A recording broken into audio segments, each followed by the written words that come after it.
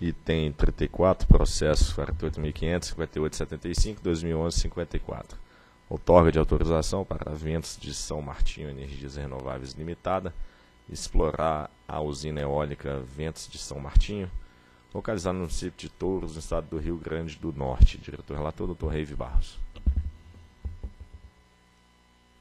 5 de setembro de 2003, a empresa Ventos de São Martinho Energia Renovável solicitou a emissão de auto autorizativo para a EOL Ventos de São Martinho.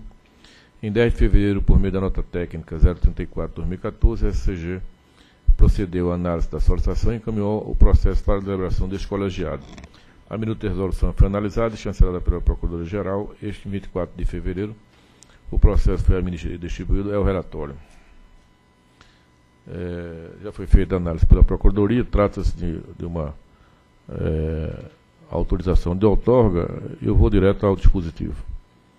É, pelo exposto e do que consta no processo, voto pela emissão da resolução autorizativa de forma da minuta anexa, que visa otorgar à empresa Ventos de São Martinho, Energia Renovável Limitada, a exploração da EOL Ventos de São Martinho e estabeleceu o percentual de redução de 50% a ser aplicado a TUST e a TURD referente à comercialização de energia dela proveniente, incidindo tanto na sua produção quanto no seu consumo, enquanto a potência injetada no sistema de transmissão e distribuição for menor ou igual a, a 30 MW. É o, o voto.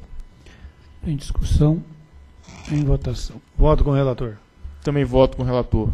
Voto com o relator, proclamo então que ele decidiu por outorgar à empresa Ventos de São Martinho Energias Renováveis Limitada a exploração da eólica Ventos de São Martinho e estabelecer o percentual de redução de 50% a ser aplicado a TUST e TUSD, referente à comercialização da energia pela dela proveniente, incidindo tanto na sua produção quanto no seu consumo, enquanto a potência injetada nos sistemas de transmissão ou distribuição for menor ou igual a 30 mil kW.